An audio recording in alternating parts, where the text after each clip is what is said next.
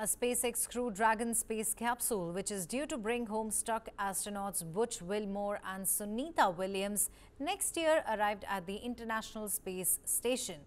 NASA astronaut Nick Hague and Roscosmos cosmonaut Alexander boarded the ISS shortly after the Dragon capsule docked at the station at 21.30 GMT, NASA said in a post on Platform X. The SpaceX Crew 9 mission was supposed to transport four astronauts to the ISS until two empty seats had to be opened up for Wilmore and Williams. After the Boeing Starliner capsule they arrived on in June was deemed unfit to return them to Earth.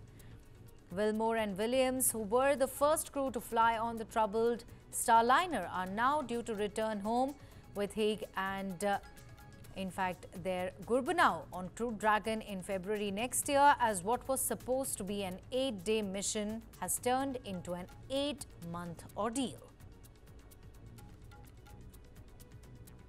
A SpaceX Crew Dragon space capsule, which is due to bring home stuck astronauts Butch Wilmore and Sunita Williams next year, arrived at the International Space Station.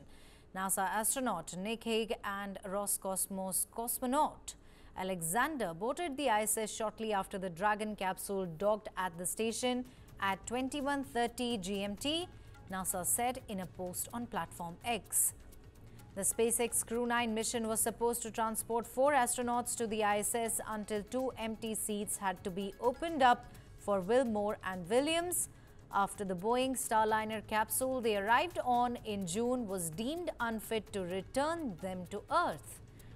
Wilmore and Williams, who were the first crew to fly on the troubled Starliner, are now due to return home with Hague and uh, in fact, their Gorbunov on Crew Dragon in February next year as what was supposed to be an eight-day mission has turned into an eight-month ordeal.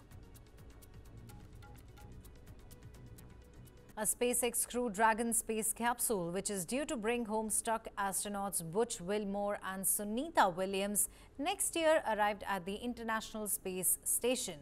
NASA astronaut Nick Hague and Roscosmos cosmonaut Alexander boarded the ISS shortly after the Dragon capsule docked at the station at 21.30 GMT, NASA said in a post on Platform X.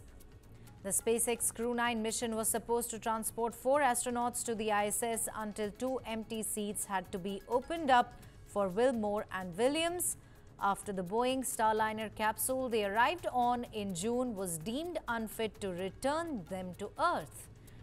Wilmore and Williams, who were the first crew to fly on the troubled Starliner, are now due to return home with Hague and uh, in fact, their Gorbunov on Crew Dragon in February next year as what was supposed to be an eight-day mission has turned into an eight-month ordeal.